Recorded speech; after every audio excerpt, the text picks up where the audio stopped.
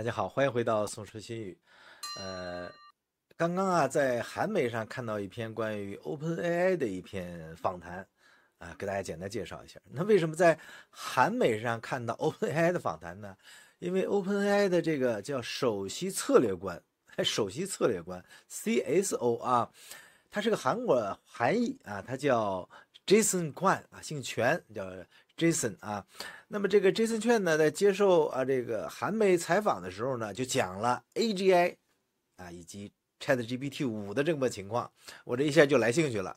呃，这个那先说一下这个这位 Jason 啊，啊 Jason 呢，他是一名韩裔的美国人啊，四岁的时候啊，就随着搞机械工程的父亲啊，移民到了美国的爱荷华州啊。那么他在乔治城大学呢，主修国际关系，然后在伯克利获得法学博士学位，呃，然后呢，从软件工程师开始，后来呢，他这个他虽然和他专业无关，他从小爱编程，你知道吧？他爸是搞这个工程的嘛，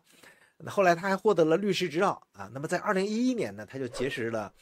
哎，OpenAI 的创始人山姆奥特曼，哎，当时呢，他还在一家律师事务所工作，呃，当时才二十五啊。后来呢，哎，他就加入了奥特曼领导的这个风险机构做这个投资支持工作。然后在二零二一年呢，就正式加入了 OpenAI。那么在去年罢免奥特曼的这个事件中呢，他是支持奥特曼的，所以这个他的位置就站稳了。那在这个访谈呢，其实说的几点啊，一个就是关于 AGI 通用人工智能的进展，一个是关于呃 GPT 五。它是个什么样的情况？再关于这个解散这个超级对齐团队啊是怎么一个情况？呃，给大家大概讲了一下。那么他讲的呢，我相信啊，肯定也是获得了 OpenAI 公司的授权啊，里边因为涉及到了比较敏感的 AGI 的发展，是吧？那 AGI 大家知道啊，就是通用人工智能啊，它是就是指一种能够理解、学习和应用人类能做到的所有智力人物的这种人工智能。和当前的这个 AI 系统还是不同的，所以 AGI 啊能够广泛的在任务中展现出和我们人类相似的这种认知能力。那在这个采访里边啊，虽然这个 Jason 呢他没有明确说明这个 GPT 五是否是接近了 AGI。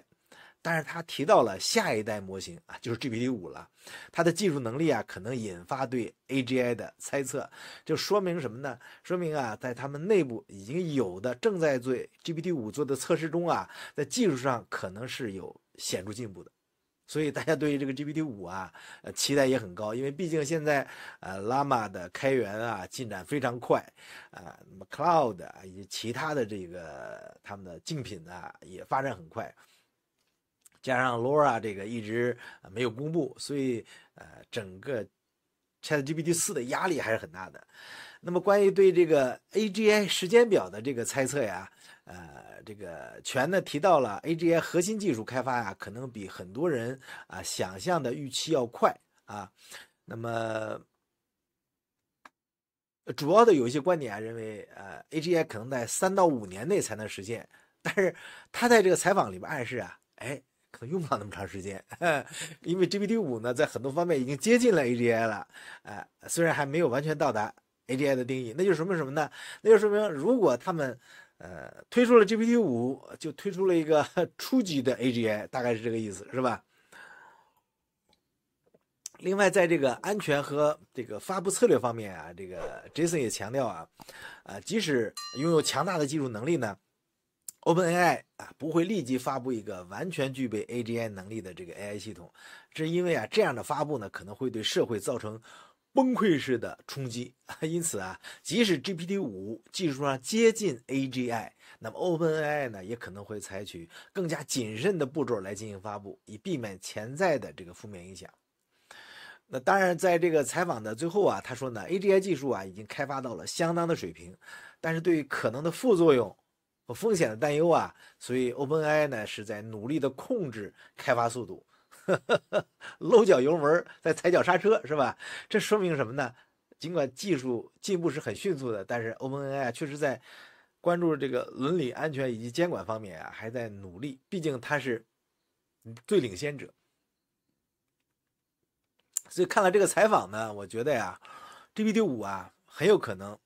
能颠覆啊。这个 AIGC 啊，目前的这个大模型在我们脑中的一些印象。那我觉得可能将来呢，不仅仅是一个问答的问题、图像生成的问题，很多程度上啊，可能它会集成了让我们工作更方便的一些技术啊。一个是和我们目前已经应用的这些工具深度集成，另外一个可能还有我们想象不到的东西。啊如果像我们这样普通人都能想到 GPT 五是个什么样的东西，那这个技术太稀松平常了，是吧？啊，这是关于这个 Jason 呃全啊，他关于呃这次的这个采访啊，他是在 OpenAI 的旧金山总部所接受的采访啊。那最后他说呢，就是我们不会发布一个可以做所有事情的 AI。那么能做哪些呢？能做哪些让我们更加震惊的事儿呢？所以还没有说啊。这里面对于超级对齐团队的解散啊，他也做了一个特殊的。啊，专门的说明啊，这个超级对齐团队啊，在老范讲故事啊和我之前也都讲过。这个超级对齐团队呢，其实就是，呃，对于 AI 啊进行一个呃更这个怎么说呢？呃，更完善管理的这么个东西。它主要是对齐嘛，就是对对齐工作的就是开发和策略嘛，确保 AI 系统按照人类设定的目标和伦理原则进行，包括调整 AI 的行为啊，使它遵守和理解人类的意图。啊，另外一个呢，就是呃，涉及确保 AI 系统的安全性和可靠性啊。所以这个他这次公开发言的一个重要内容就是这个团队没有解散啊，只是内部重组了啊，团员被重新安排。然后呢，这个团队呢，呃，就是还是受到高度重视的，这是他的说法啊。那实际上啊，我看完这个 Jason 全啊，就是他的这个简历之后啊。哎，我立马就对这个呃 GPT 的开发团队啊感兴趣了。那么我也找到了官方的网站啊，我们看一下这个我找到的这个呃 Chat GPT 四的主要贡献者的名单。哎，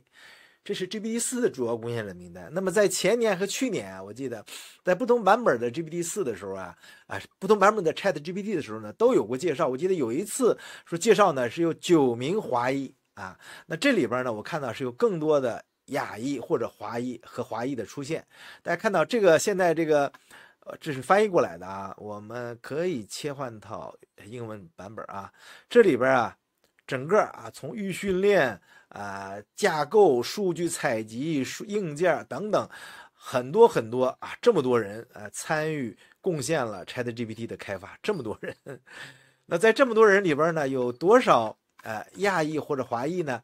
那么我还做了一个介绍啊，做了一个截图给大家看看啊。哎，这是一个截图，我们看一下啊啊，先看这个这两张图啊，这是从 OpenAI 官方网站上的截取图片，这是 Co-founder 啊，就是呃这个呃创始人团队啊，实际上 还有奥特曼呢，是吧？那么再往下呢，就是呃整个这个高管团队啊，这五位啊。再一个呢，就是这个呃董事长啊，这个 board of directors 啊，那么后边呢，就是我们统计的这个呃疑似华裔的啊，根据这个姓我们呃分裂出来的这么几位呢，一二三四五六七八九十，那这十个人啊也是不完全统计，不排除有的姓呢是可能有一些其他的，呃，比如说他没有姓华裔的姓是吧？呃，那很有可能的，呃，比如说呃。他爸爸 是其他爸爸是非华裔的这种混血啊，这是呃印度的、韩国的啊，这个印裔和韩裔呃这个人啊，那么这个里边呢是没有 Jason 的，就是在这个技术团队里面，因为 Jason 他是首席策略官嘛，没参与开发。呃，这还有一个是日本的，日本的我们就不放了啊。呃，这里边啊，我大概也打开看看，其中这种蔡，这位蔡应该叫蔡先生吧，叫他是啊比较。在 ChatGPT 四里边做出比较大贡献的高级管理者之一，这个是让我们在呃这个名单里边可以在前面可以看到，看到了吗？排一二三四，核心贡献者里边排第四位就是他，看了吧？就是他，啊，Trevor Chai 啊，就是他。那么再往下呢，还有一位叫欧阳龙啊，他也是一个核心的贡献者。那么我搜了一下啊，关于这个欧阳这个姓，在整个这个。单子里边出现七次，因为欧阳的姓是比较少的，所以在这名单里边出现七次呢，就说明他在不同的团队都有贡献，这是非常牛逼的一个人。但实际上在 ChatGPT 第一版核心的这个论文贡献里边呢，就有他欧阳龙，呃，那么他是应该是哈佛的本科吧，然后是我看一下他的这个领英网上的介绍啊。哎，这是欧阳龙，就是刚才我们查的这位欧阳这个小伙子。那么他是哈佛的本科啊，斯坦福读到博士，啊，就这么一个教育经历，很牛逼的一个。因为他对这个呃 ChatGPT 早从最早期开始啊，这个这位学者呢就参与了他这个几乎所有的这个 OpenAI 四大项目的开发，也是呃。Instruct GPT 论文的第一作者，也是 RLHF 论文的第二作者，他是整个 GPT 项目里边一个核心的人物，就在创始这个技术的里边核心人物，啊，这是呃，当然这里边还有很多的大牛啊，大部分呢就是在国内，像欧阳龙呢，呃，这里边呢，我觉得是三三三啊，怎么个三三三法呢？我没有挨个对他们的这个学术背景啊，呃，大概挑了几个，基本上是呢。有三分之一的是在美国受的教育，然后呢，啊，进入了 OpenAI。那么有三分之一呢是呃完整的中国的这个这个大学教育啊，然后到美国读博或者是进行研究项目。另外三分之一呢是在中国呢读到了比较高的学位过去的啊，大概清华的呢能占到一半以上，剩下的什么北大的、复旦的、华中科技的啊都有啊这么个情况。实际上在整个啊这个。全世界的 AI，呃，人工智能最具影响力的这个学者名单里边啊，啊，比如说结合学者的呃论文指数啊、论文数啊、影响因子啊，然后去重啊处理之后呢，会发现，呃，在过去十多年啊，全球 AI 发展贡献力量。啊高层次的学者呢，有接近两千位，就一千八百三十多位，啊，那么这些人工智能大牛啊，覆盖了三十七个国家，其中呢，美国呢是一千两百四十四人啊，当然是这是二二年初的统计，啊，占了百分之接近七十，中国呢是一百九十六人，位列第二，德国呢是一百一十三人，位列第三，但是现在啊，数据又有所变化啊，那么这里边呢，这一百九十六名华人学者里边啊。那无论是本硕博毕业院校啊，刚才我们说清华大学确实排在前头，呃，属于清华的呢，呢本科毕业于清华的大概有四十来位，四十一位，呃，排在后边的呢是中科大二十一位，北大十九位。那么在硕士阶段，硕士阶段毕业的学校里面呢，国外的这个麻省理工和伊利诺伊大学进入了前十啊。那么在博士阶段呢，呃，那当然国外的学校就更多了。这大部分的大牛啊，哎，基本上啊，就如果中国大陆出来的，都是国内的几所顶尖的本科院校，然后在国外受了硕士或博士的教育，然后进入到了这种顶尖的公司啊。刚才我们看到的这个欧阳龙，他的这个学术造诣啊是非常出出众的。那么他呢，进入 OpenAI 之后啊。这个应该说是做出了杰出的贡献，那实际上在这里边啊，这因为 OpenAI 它就是这个牛逼的公司啊，一说就是几百人就在世界，这七百多人应该是在。奥特曼被开的那那段时间，我印象中是接近七百人的团队。这七百人和动辄几万人的这些大厂相比，这数量显得太微不足道了。但是就是这七百人，可以说个个都是人中龙凤啊！我在领英网上挨个点，那个经历啊，耀眼，确实是炫目啊！这是啊，我们看了啊，这个。OpenAI 的首席策略官就 CSO 哎，Jason 全啊，他的关于呃 OpenAI GPT 五以及 AGI 的一个说法之后啊，我做的一些简单的一个小小搜索啊，发现这个事儿呢，呃，确实是很有意思，并且呢，我们对于呃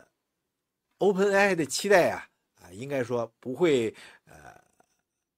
让我们太失望的。我觉得呢，与其说技术能不能带来更大的呃进展或者让大家惊讶，呃，倒不那么重要，而是这个技术出来以后引发的巨大争议，可能是让 OpenAI 现在踌躇不前的一个主要原因。因为现在呢，大家知道，在 ChatGPT 三出来之后啊，这个马斯克已经等等的一些大牛，包括一些著名的 AI 的这个呃大神们都发布了联名信，要求限制 OpenAI，限制人工智能的发展啊，包括各国政府，包括美国白宫是吧，也召开了这样的这个呃